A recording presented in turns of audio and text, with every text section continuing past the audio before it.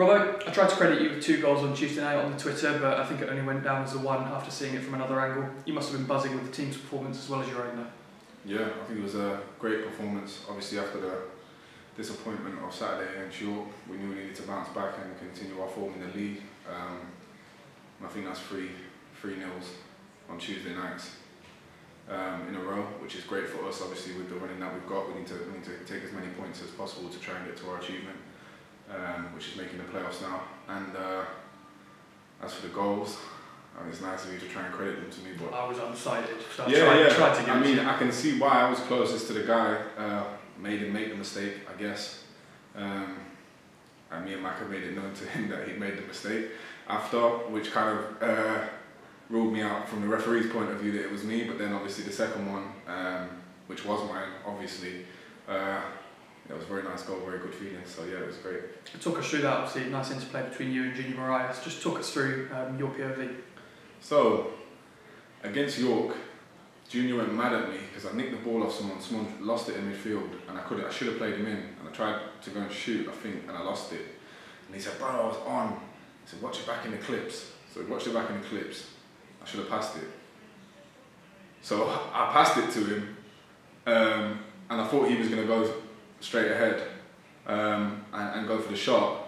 And obviously, load, everyone went to him, and I carried on running. And then when he played it back across, I knew I had to do just put it in the goal. Yeah, Uh, great finish as well. Yeah. The supporters were, of course, in good voice all night. You must have enjoyed celebrating your goal and the result at the end with them. Yeah, I think the fans were great. I think um, There's some great photos of it, isn't it? Yeah, yeah, some very nice photos, and, and, and considering uh, the percentage of our fans who were there compared to theirs, we definitely heard ours all night, which was which was lovely. Um, and I said to Michael before the game, I said if I score, I'm going to jump in that end, and he said don't, because you'll get fined. And I said okay. And then at the start of the second half, I saw that chair, and I said that's my chair if I score.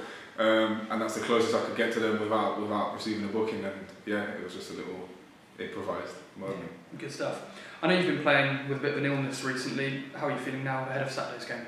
Um, I'm feeling better. Um, I was pretty bad um, on Tuesday, and a couple of the lads have had a similar thing. Um, nothing, nothing really major, just just stomach stomach issues. Um, and after after the goal, I, I felt it a lot, and I, I said, "This is a, as good a time as any to come off before I Gary, Gary Lineker, Gary Lineker myself." Um, and yeah, when I went off, yeah, I need to say the rest. Fair enough. Yeah. Notts County that will be welcoming to Victoria Road this Saturday. How tough a test do you see that being? I think it'll be a tough test. I think um, they're another team like us who are who are pushing for the playoffs. I'm, I'm not entirely sure if they're in it right now, but they're obviously people who are competing for it. They've got a good squad. I think they'll um, offer a different um, approach than some of the games we've had recently, which have been battles. I think they're a bit more of a, of a footballing team. Um, and like I said, every game now for us is is winnable, but also is a must win. So we need to take that attitude and, and just go and do our thing on the field. Yeah, for sure.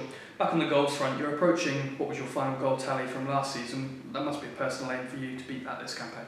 Yeah, um, from from last year, obviously the the impetus for me was to not make it a one hit wonder kind of thing, like to continue doing it. And I feel like now I've got I've got seven, eights in reach, and then from eight, tens in reach. Um, that is my ultimate goal. But obviously, more than anything, the aim is the goal of the team. It's not about me. So yeah, just continuing playing well and getting results is the, is the main objective for now. Yeah, brilliant. I know you guys take it a game at a time, but looking ahead a little bit, it's two tough away days for us next week with Eastleigh on Tuesday and Grimsby next Saturday. Those are the types of hurdles that we need to sort of navigate very professionally to keep our playoff push on track. Yeah, I think the lads obviously have um, have seen that the, the, the running is, is two games a week, pretty much apart from one. Um, and, and we're doing everything like the, the staff and, and ourselves, um, approaching every game as it comes, but also people are getting the due time to recover and things like that, and away trips as well, especially for the recovery day, they do take a toll um, with the long with the long journeys and stuff. But I think um, like we've shown in, in the past few weeks, Southend, Yeovil, um, and even even Maidenhead on a, on a Tuesday night, Tuesday night even still makes you fatigued for the Saturday. But I think I think we're equipped and the squad's getting stronger and stronger. So yeah.